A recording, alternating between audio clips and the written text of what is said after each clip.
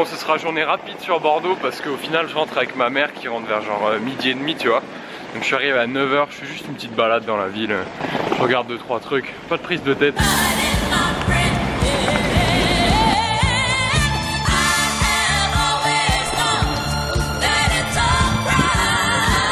Bon alors je t'explique, là en fait c'est la grosse coïncidence mais euh, il, s'avère qu'aujourd'hui c'est la journée porte ouverte de mon ancien lycée et je suis juste passé devant et ben voilà c'était là que j'étais au lycée il y a, il y a quoi 3 ans, 4 ans maintenant et là, juste là, il y a mon prof euh, d'économie, tu sais. Euh, mon prof d'éco de terminale qui m'a tellement aidé parce que j'étais tellement une merde en éco et, euh, et, je, me suis toujours senti mal parce que j'avais beaucoup beaucoup progressé, j'avais beaucoup beaucoup donné tu vois pendant toute l'année et au bac j'ai mangé genre 7 ou 8 tu vois en éco matière principale. Du coup là je vais, je vais, je vais aller le voir voir s'il se souvient de moi et je vais lui dire ouais monsieur je suis désolé j'ai merdé. Ah, c'est la vie. J'ai recroisé mon, bah, du coup mon ancien prof de SES e et euh, je lui fais mais putain j'ai grave chié le bac en vrai. il, se tapait une barre, il me fait ouais mais tu me l'as déjà dit et tout. Hum, et on a parlé. Je crois que c'est c'est quasiment un des seuls que j'ai revu. J'ai revu un ancien prof d'histoire aussi, mais il y a beaucoup de gens qui ont changé, qui ont tourné. Et voilà quoi, ça fait plaisir. C'est ouf de se retrouver dans ces couloirs.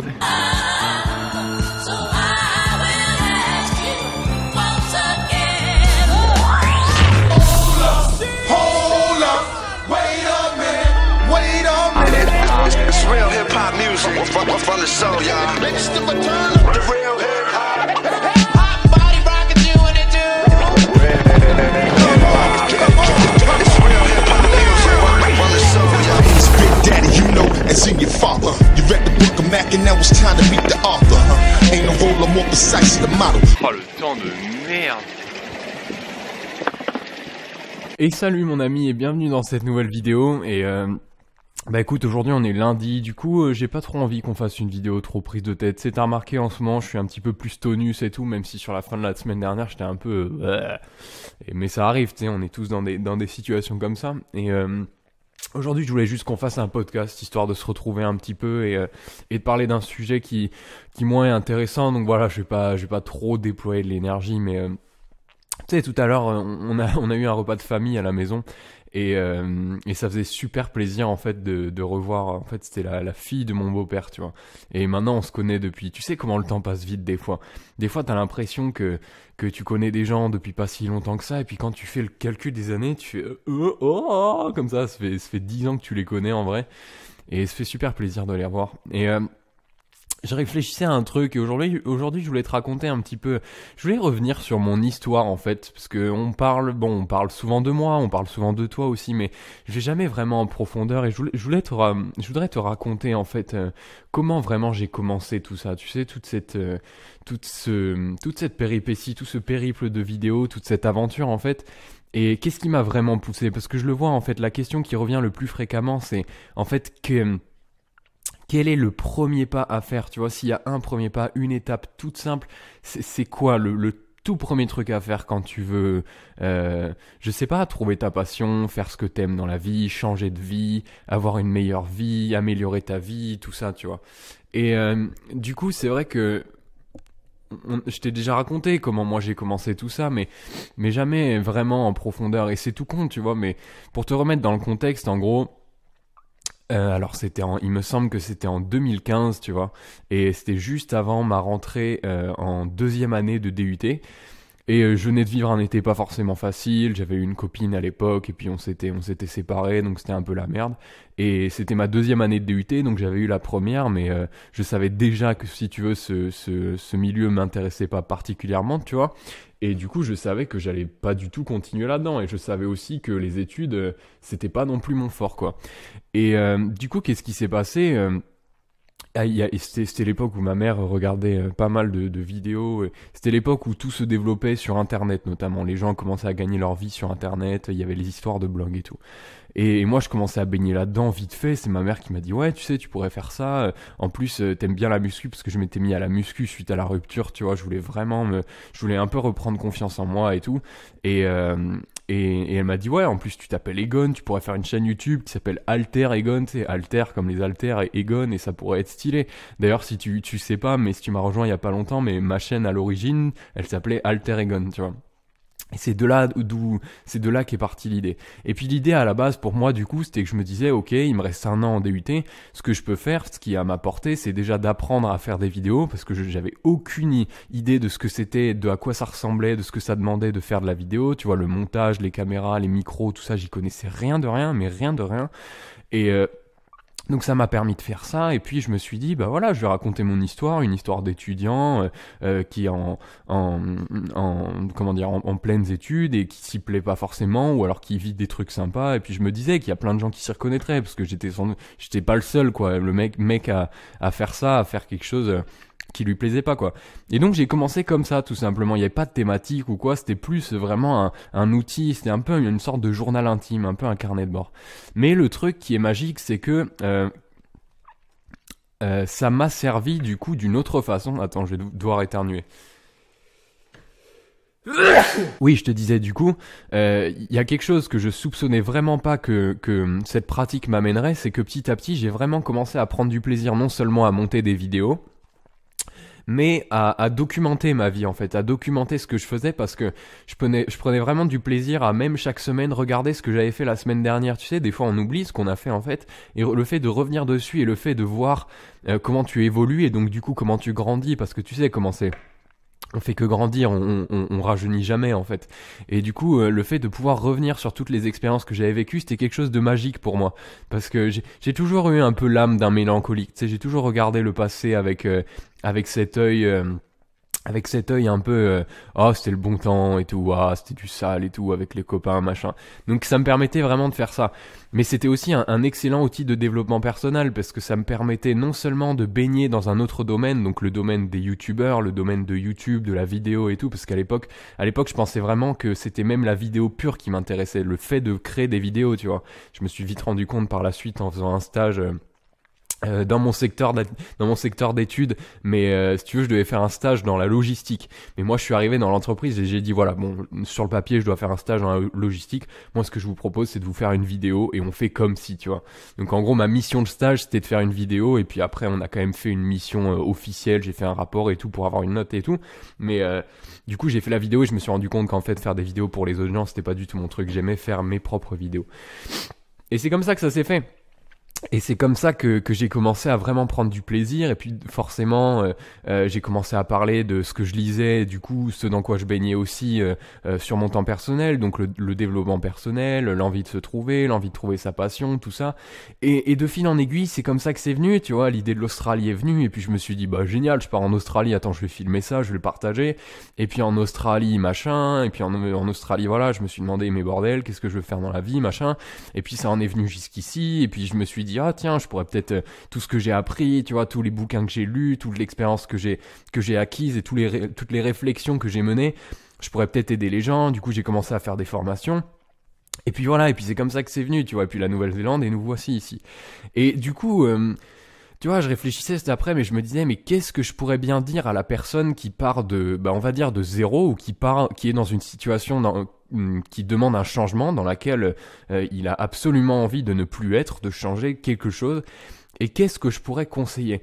Et j'ai beaucoup réfléchi et je me suis rendu compte d'un truc, c'est qu'en fait, euh, il y a quelque chose d'assez marrant. Mais depuis qu'on est petit, on n'est jamais, euh, depuis qu'on est petit, on a rarement, étudié ou fait des choses qu'on aimait par nous-mêmes, de notre plein gré, de notre propre vouloir, tu vois.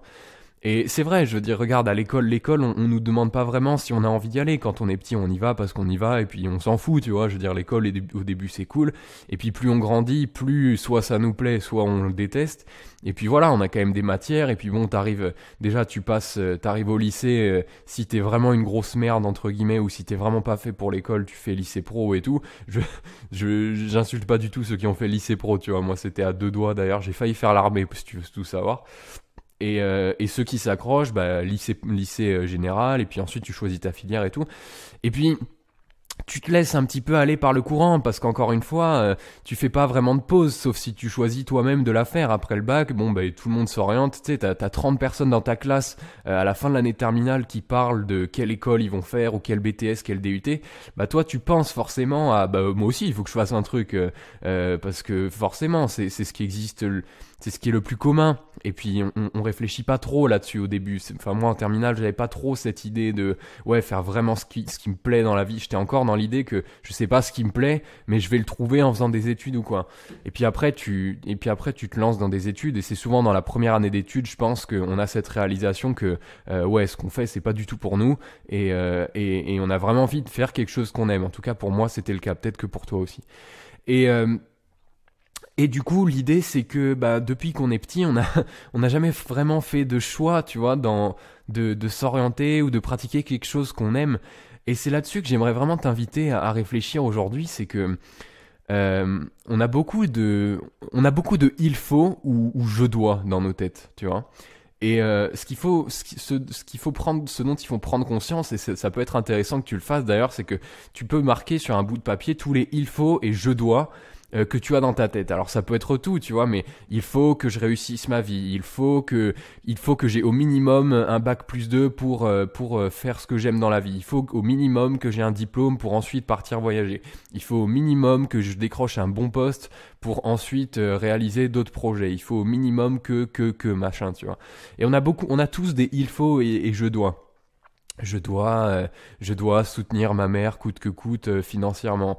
Euh, je, je, dois rester en France parce que ma copine est en France et même si j'ai envie de, de voyager, c'est pas sérieux donc je dois rester ici. On a tout ça. Et c'est intéressant de les, les, noter. Moi, je l'ai fait. Tu vois, la dernière fois, j'étais dans le tram, j'ai commencé à le faire. Et, et ce qui est intéressant de, de, faire après ça, c'est que derrière tout, c'est il faut et je dois tu regardes si derrière tout ça, il y a un vrai besoin, c'est-à-dire un besoin mais qui émane de toi. C'est-à-dire que tous les il faut et je dois, ils sont là parce qu'à un moment, il y a eu un besoin qui vient soit de toi et soit, et la plupart du temps c'est le cas de, quelque chose d'autre ou de quelqu'un d'autre, ou alors de toi mais qui n'est plus actuel aujourd'hui, mais qui reste gravé dans l'inconscient. Et, tu, te, tu te demandes si derrière chaque il faut et je dois et j'ai besoin, il faut et je dois, est-ce qu'il y a un besoin aujourd'hui, mais qui te tient à cœur, qui est important pour toi, qui est encore valable?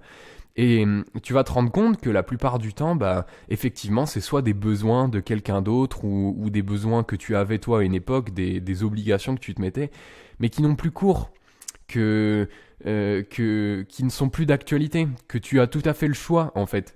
Et ça te permet de te rendre compte non seulement qu'on a tous des choses pour lesquelles euh, pour lesquelles euh, on se bat mais on sait plus trop pourquoi parce que c'est des trucs qui sont plus voilà qui sont plus d'actualité parce qu'on a grandi on a changé de vision on a changé, changé de d'envie dans la vie euh, ou alors on, s'est détaché de l'opinion des autres parce qu'il y a beaucoup de il faut et je dois qui, qui viennent des parents notamment. Soit que bah, effectivement tu les trucs de il faut et je dois ce qui peut te paraître comme une contrainte aujourd'hui par exemple des études ou quoi et si derrière il y a une vraie raison, s'il y a un vrai parce que, par exemple, tu dis il faut il faut que j'ai un bac plus 5 pour pouvoir ensuite exercer euh, mon métier de machin et qu'aujourd'hui tu trimes et que t'en as marre des études et que tu tu dis mais putain mais pourquoi je fais ça, ça me fait chier, je bouffe tout mon temps. Bah si derrière euh, effectivement, ça répond à un besoin profond parce que tu as vraiment envie de réussir euh, tes études parce que c'est la seule façon qui te permettrait d'accéder ou de rentrer dans l'entreprise, je sais pas, si ton rêve c'était de bosser chez Michelin ou chez Sony ou chez Canon, tu vois. Bah c'est la seule façon. Et du coup, ça te permet de remplacer cette complainte journalière de il faut, je dois par ah oui, effectivement, je, je, suis en train de si je suis en train de faire ça, c'est parce que j'ai cette envie-là, c'est parce que j'ai ce besoin-là et du coup, c'est justifié en fait.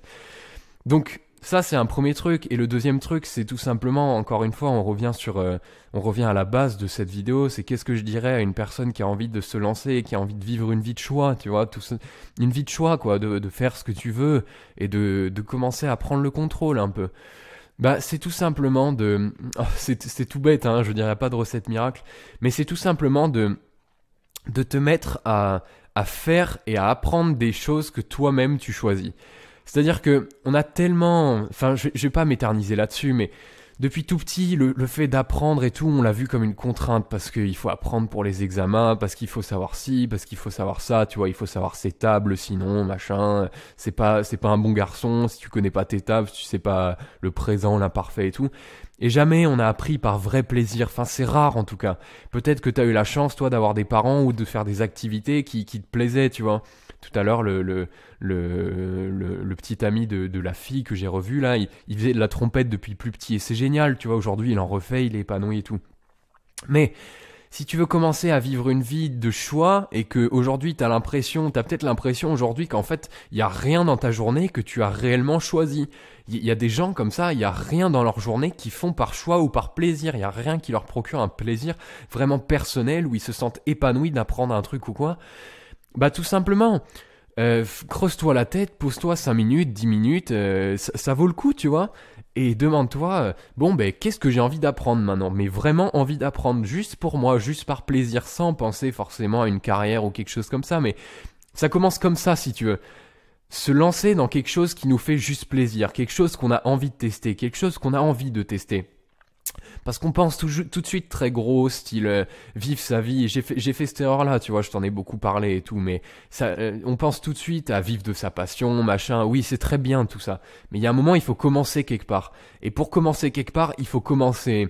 Euh, il faut commencer faisable en fait. Et il s'agit juste de te mettre, d'apprendre une, je sais pas, un, nouveau, une nouvelle, ah comment dire, un nouvel asset, un, un, un nouvel une nouvelle discipline, exactement comme moi quand j'ai appris le montage vidéo par exemple. C'était génial, je pensais pas du tout à, je pensais pas plus loin que ça, je pensais juste à faire euh, la, la, meilleure vidéo possible, tu vois. C'était ça mon objectif au début, c'était faire la, la, vidéo la plus cool possible. Et c'est pour ça que je m'éclatais sur les montages et tout, je me prenais la tête, mais laisse tomber, je mettais trois heures à faire mes montages au tout début.